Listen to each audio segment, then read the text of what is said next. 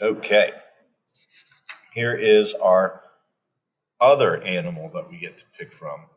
The animal that starred in the book by Jan Brett, a bear. Whenever I say the word bear, I always say it like it's the jungle book. Baloo. So for this, we're going to turn our paper side to side like it is a landscape.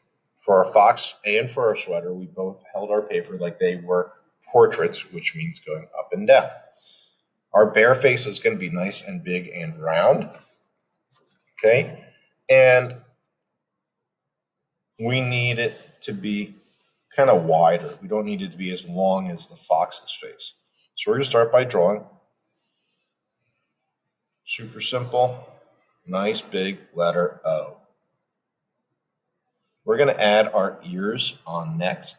And our ears are going to be a little bit more rounded than a fox. So we're instead of using a upside down V, we're going to use an upside down U or a lowercase n. It's all on how you look at it.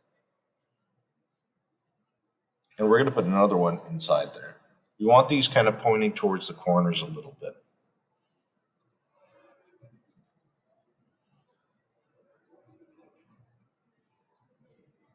Okay. Now, bears ha have, excuse me, bears have a nice big snout. So we're going to draw a nice big circle.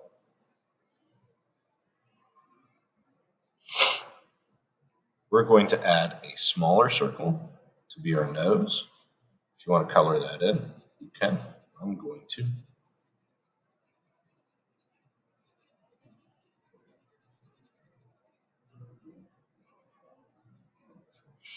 And then we're going to draw the lip and mouth of our bear with an upside down Y.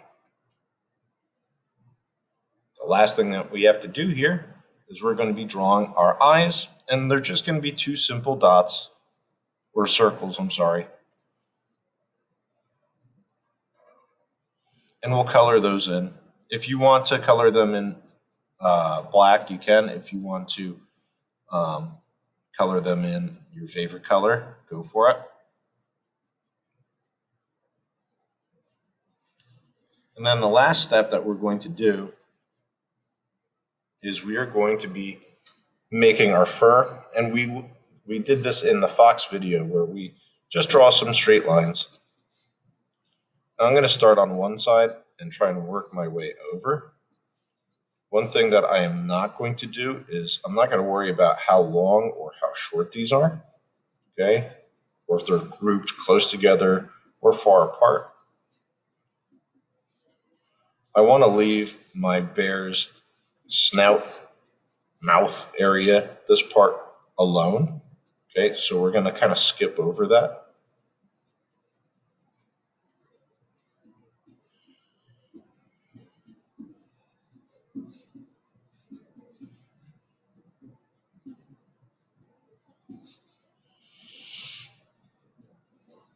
And as I'm going, you can see that I'm just kind of bouncing all over the place.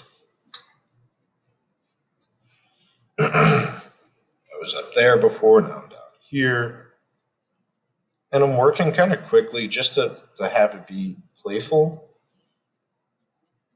and spontaneous. That means we're just kind of making it go wherever with no real intention of what we know what it's going to look like.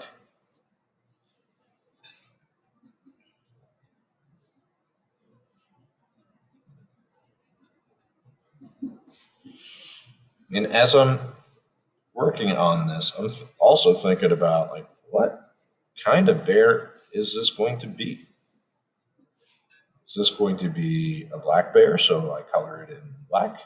This is going to be like a brown bear, like a grizzly bear? So I color it in brown. This is going to be a polar bear? So I just leave it exactly the way it is.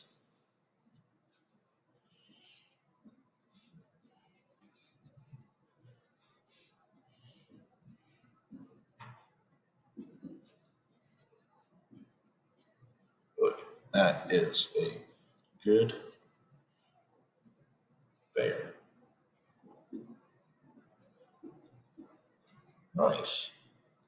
Okay. That's how we draw a self uh, a self portrait. That's how we draw a portrait of a bear. And like, like I said, it kind of has a folk art feel where it is. It doesn't take itself too seriously. Um, and when we put this all together, it's going to really, uh, really take off. So um, if you feel like coloring it in today, you can. Um, if you want to wait till next week, because our coloring portion tends to be the second week, go for it. Um, I'm going to have a video of what these look like cut out, not colored in, but cut out and placed together with our um, sweater that we made. So I'm going to have one last little video for you. Okay, have fun.